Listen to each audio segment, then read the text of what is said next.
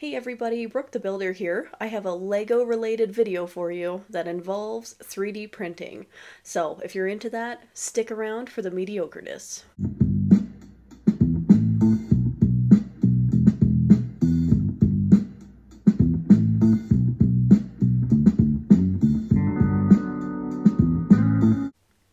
So you've probably seen some of my videos and shorts on 3D printing. I have a 3D printer, but I know a lot of people don't, and I don't have a resin printer. I've always wanted to have resin models, and I don't have any printer that can print metal. I found a website that's really cool, and it's called JLC3DP. I'm going to link it down below the website that I used because it's pretty cool. Like I actually tested it out. So I'm going to show you guys like the whole process. I was kind of like, oh, is this actually going to be good? I really wanted to select something that I couldn't print. So I cannot print resin and I can't print metal. That would be cool, but I can't. So um, if you don't have a 3D printer and you've maybe always wanted to get something 3D printed, the site is pretty cool. Like all you have to do is find a file, and there's a ton of free ones online. I use Prusa Prints, but you can use Thingiverse, Cults 3D. There's quite a few websites that you can find files. And all you do is drop them in on the website and then select what material you want it in. And I like it because it actually gives you like when you put your mouse cursor over it, it tells you like, hey, this is what this would be used for. This, this, and this. So yeah, I wanted to get metal and I wanted to get resin because I don't have those kind of printers. So so what I really liked when you drop your file in and you're selecting everything, it'll let you know if it's possible. Like it'll actually let you know like no, this is not going to work like ahead of time and it lets you know the prices like right away. I printed something in metal and it was like, "Whoa, that's way too expensive." And like metal is stainless steel. So it's like, "Okay, let's do resin instead. This is reasonably priced." Uh, I can do PLA, but I could already do that, but if you're actually looking to do it yourself, it's nice to be able to see what you what's possible and what's not. And then you can submit it. You basically get a quote. So you don't have to like, you know, pay right away. You just get a quote, which is kind of nice. And then it's cool because actually one of the pieces that I put into there that I wanted it in metal, so I wasn't sure if it would work. And it they did email me being like, "Hey, everything's been approved, just this one piece. It might not print right. Do you still want to print it? Do you want to take the risk? And I, I took the risk because it was like $7. So I was like, yeah, let's check it out. Um, so let's see how that turned out. We're going to check like everything in the box. So we're going to open the box, check it out. So let's get to it. Okay, so the box came in the mail from the 3D printing company there. So let's open it together, check it out. Nice little blue box here. Anyway. Okay, we got the blue box. Let's cut open the tape. I thought it might be bigger, but I also don't know the dimensions, so let's see. Ooh, bubble wrap. Okay. Oh, oh, sanding paper. Okay. I don't know if I'm supposed to sand stuff. Ooh, interesting.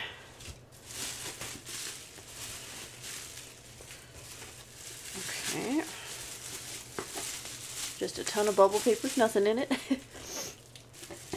okay. Oh, this is heavy. Okay, this looks like a nice 3D printed piece. Oh my gosh. Oh, it's so, like, it is so heavy. I love that. Wow. And this is resin, so I got them to do that because I don't have a resin printer, so I can see why they maybe got sandpaper just to sand off a little bit of it, but it's cool that they include that. So this is going to be holding our lightsaber. Okay, oh, this is a lightsaber. Okay. I wasn't sure what color they would print this in. I was really hoping it would be a color, but I can always paint it. Oh, that is nice. Resin is so nice. I wish I had a resin printer. So this is nice that you can like get it done if you don't have it. So it's just the normal white. I think they said they would choose the color for you. So, oh, and there's the bottom piece that comes with it. So they printed both there. Nice. Hopefully, it might not fit in here because it's resin, you know. But I don't want to break it. but But technically, yeah, I can just go like that and it'll hold it.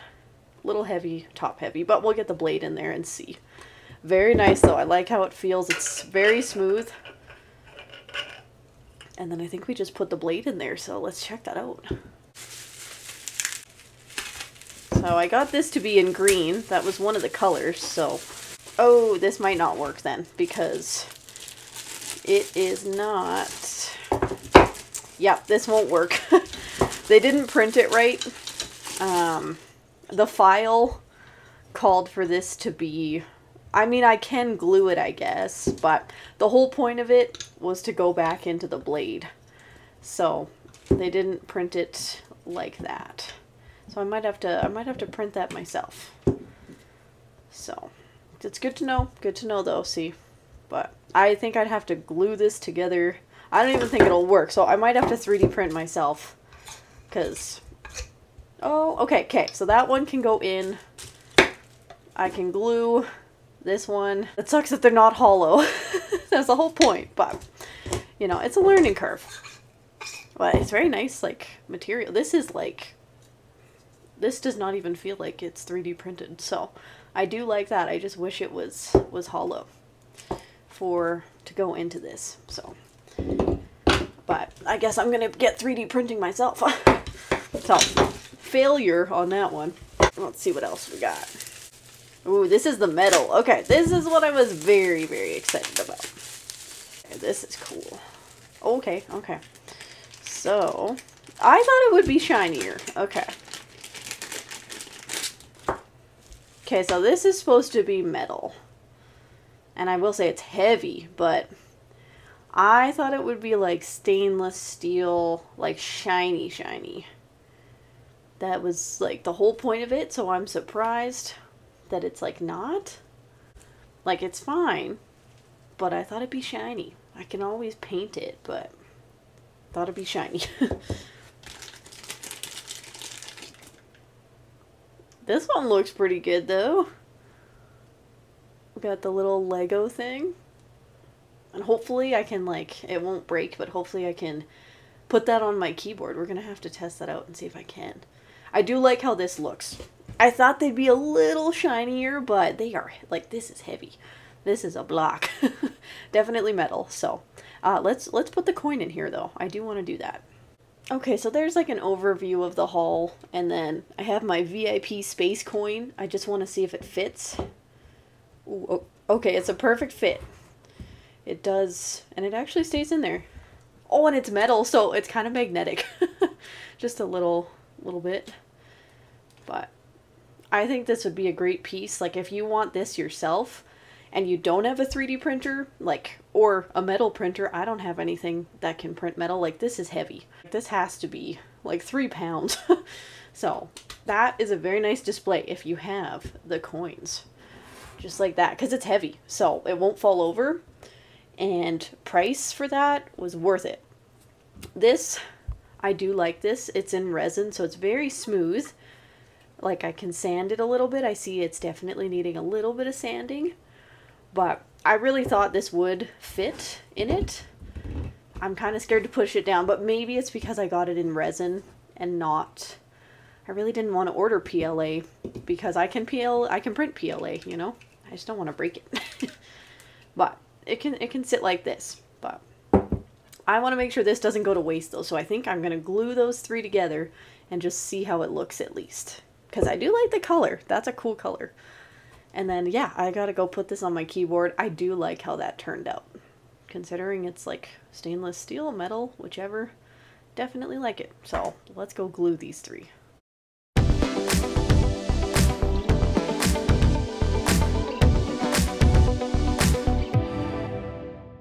So that is what I use for my adhesive. I put the three parts together I realized this doesn't really have like a, a top, like a little dome piece, which would be nice for a lightsaber, you know, but sticking together. So I'm gonna give it a few, like an hour just in case, just to make sure it's together. And then I'll put it in the lightsaber hilt. Okay, so I'm gonna 3D print all three of the blades like how I wanted them to look. Um, and I only have like kind of like a cool green color. Um, so we're gonna try that out Uh, let's see if this works in vase mode. I probably should have clarified that I wanted vase mode, and I don't think you can do that with resin, so. But we'll test out both blades. So, learning curve. Okay, so this is kind of what I was looking for in vase mode, just like completely hollow. And then I made the end full just because I put the other two together. It's open at the end, and now I have to put that one inside. So yeah, that is what I was looking for. So, and then it can like collapse and then go like that. So that's what I wanted. So let's go put that in the blade. I want to see if it works. Okay, so this, it's finally glued together and it, I kind of glued it a little crooked, but it does work. It goes into the, the lightsaber. Just like that. Okay, so that does work and it kind of collapses in by one because that's what it was made for.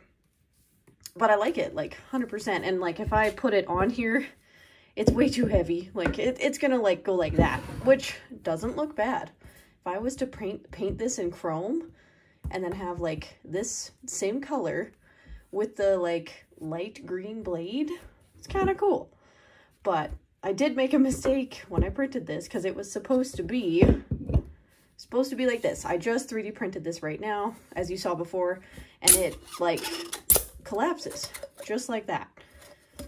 So then, you know, but it's not tough. Like this, this I could probably like break this in just by going like that or this I cannot. So like I do like this a lot. This is strong. This is really strong. If I was to 3D print this myself, the blade, it would be like, it'd be like tougher than this, but this is smooth. This is really, really like sturdy, which I like. But let's just put this one in it. I want to see if this actually works, if it can, you know, do it. Oh, nice, it does. Okay. Okay, so it fits combining plastic with resin. Oh, and it's collapsible too. Okay, I like that. so, um, if I was to do this again, I guess I would do this still in resin. I would do this in plastic, maybe not PLA, but maybe something stronger, um, like maybe ABS or something along those lines, or actually PETG might be perfect. But like it's not a waste because I did that. But if you guys were looking to 3D print this on that website too, I think resin's the way to go for this. Maybe paint it in chrome. I'm going to try and find some chrome paint uh, one day. And then paint this in the actual plastic and, or print this in actual plastic on that website. It's kind of cool. Just like that. But if I, uh, If I maybe wanted to have a duel, this one would be the way to go because this one is strong. So I definitely do like that for sure. Okay, now that we've opened everything, we got to check it all out. I would say my favorite piece that came from that order was probably this one. Like the one for the VIP coin. It is heavy. It's really cool. I thought it'd be a bit shinier, but I'm actually like growing to like it and it's very heavy. So for the price of that, it was actually kind of sweet. I will say that's my favorite. And I do like the lightsaber hilt. Like I really do. It twists on. It's really good. I made the mistake of printing the blade. Not the mistake of printing it in resin, but I realized resin can't hollow out. It can't do what PLA can do in vase mode. Um, so before you put a file in there, even if it is approved, um, I realize that point. It's like, oh, this is not going to turn out how I wanted it to. So mistakes can be made for sure. I would really like look at the description of the files if you do try this yourself. Like I even made a mistake and I have a 3D printer. I don't have a resin printer though, so that's kind of why I made that mistake. But I did like the blade, like don't get me wrong. And like gluing it together, like this thing is tough. So like I printed it, you guys saw earlier in uh, like PLA, which, you know, if I went like this, you know, I'd feel like somebody flicked me. If I hit you with this, it's gonna like dent your head. So it's still very cool. It's just the other one can actually be collapsible where this one is not. So, you know, it still works. It's just I realized I made that mistake after the fact. Even it, it, it was approved because it's clearly possible to print it like that. So, um, I'm definitely going to order something again. I really, really want to order, like, I think a Darth Vader bust in resin. I've always wanted this one uh, file on Prusa prints, so I think I'm going to do that in resin in black. And they do have an Iron Man helmet already, like, on their website. It's just a little expensive. so I think I'm going to have to order again. But I will make sure to link that below the the website that I used if you guys ever want to try this out. You don't want to buy a 3D printer you don't want to deal with learning all the software stuff and you actually just want to like print something kind of cool. I think it was actually a good website to use. And I think the only thing that I wish that their website had was more colors. Like there are barely any variety of colors. And the one thing that I thought is that they could do multicolor prints because I don't have that on my printer. I don't have that extension on there, so that would have been sweet I would probably order way more things if they had a multicolor option and then also more colors available. That would be cool because you could select different colors. Like for the lightsaber, I really wanted to do red. I could only find like a lime green resin. So that was kind of a bummer. That would be my only thing. That would be, you know, that would be my only gripe is like, give me more colors. And if you could do like multicolor prints, because I can't do that. So, because multicolor prints are so many like files I've seen that would look so good in different colors. Um, which like with the lightsaber blade, I printed it in white. It would have been cool to get this in like a silver or a chrome. That would have been the way to go.